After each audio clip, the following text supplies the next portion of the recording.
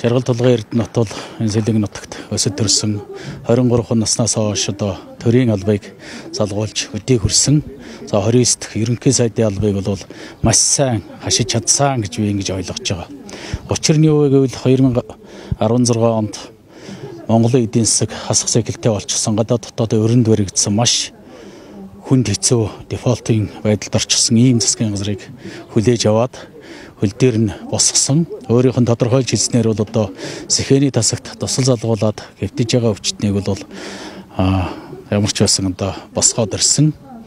Ийм одоо гавьяатай хөө жаргал толгойн эрдэнэт гэдэг хүнтэй бол 4 жил одоо хамтарч ажиллалаа. Энэ хугацаанд манай буган тосгонд шинээр соёлын төвийг төвийн одоо барихын ажлыг одоо улсын төсвөөс олгож өгсөн соёлын төв маань одоо баригдаад ашиглалтанд орох гэж байна. За мөн манай тосгонд маань болохоор нэгдсэн магистрат шугамтай дулаан одоо цэвэр бохрын нэгдсэн багцрал шугамд манай бохрын асуудал маш хүнд байсан. Энэ маш хүнд байсан асуудлыг бол шийдэж өгсөн. Одоо энд бол цэвэрлэх байгууллага шинээр баригдаж байна.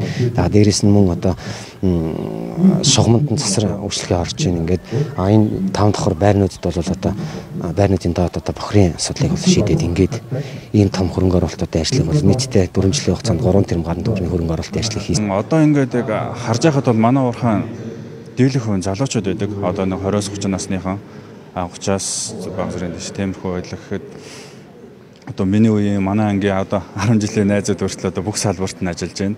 Би өөрөө болохоор геологч мэрэгчлээ. Анирхотой геологч хийдэг. Манай ангийнхан гэхэд одоо оператороор ч юм уу ясан тийм ажилчид бол зөндөө байгаа. Ийм ажиллаж байгаа. Тэгээд бүгд яг одоо ингээд яг нэг залуу хүмүүсийн хувьд амьдрал амьдрал хаваа эхлүүлээд ингээд явж байхад бол Баянгол уурхаан одоо ингээд орлогын их өсөрнөлцөн дээ цалин мөнгө эндээс авдаг учраас бүгдөө амьдрал нь амьдралд нь одоо ингээд маш ихээр нөлөөлж байна. Хоёр одоо ингэж хүүхэд байхад бол ингээд байсан ерөө сумын хувьд бол ингээд ажлын байр маш хомсдолтой. А залуучуудад ингээд ажилгүй ажлын байр хомсдолтой учраас ингээд алтанд явдаг ч юм уу иймэрхүү маягаар ингээд яадаг гэсэн бол одоо ингээд доктортой ажлын байраар хангагдаад бүгдөө ажил орлоготой болсон байгаа. Тийм учраас ер нь хүмүүсийн хандлага ч гэсэн шал ондоо болдог. А энэ уурхад ажиллаж байгаа хүмүүсийн хувьд ч гэсэн бүгдөө ер нь дөрөм журамдаа зэрэгдээд ингээд явдаг учраас ер нь би энийгээ хүндлээд нэг хамт олон болцсон учраас буцаад сум дээр очсон ч гэсэн тэр нэг хамт олонтой тий эрэг хандлагатай болчихсон. Маш сайхан байдаг.